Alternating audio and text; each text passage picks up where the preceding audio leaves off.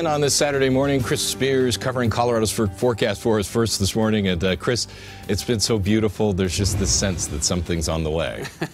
that weather is going to certainly change and change fast in true Colorado style. That is an awesome cloud hanging uh, just above the foothills there.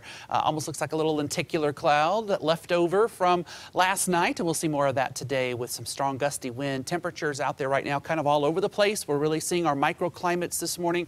Single digits in high mountain valleys, teens and low 20s for most mountain locations. Southeast plains, we're in the 20s. It's 40 in Colorado Springs. It's quite windy down that way, and it's windy here on the northeastern plains. That's why most of us are in the 30s this morning. Just six at Mary's house outside of Alamosa.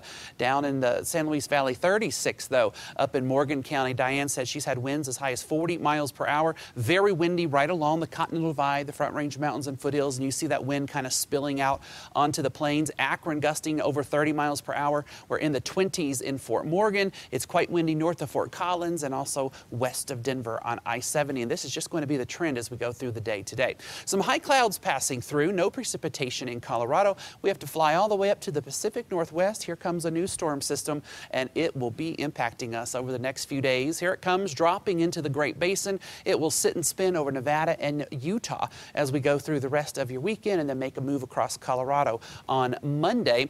Out ahead of it, all kinds of wind alerts. This is a warning here. Uh, the darker brown is a watch uh, for the front range of the southern part of the state. Winds could be up to 60 miles per hour with gusts as high as 90. And you know it's very dry across the state. So with that wind, we now have a fire weather watch for tomorrow on the southeastern plains. We'll be worried about wildfires. Futurecast today, maybe a snow shower in the northern mountains. Most of us are going to stay dry.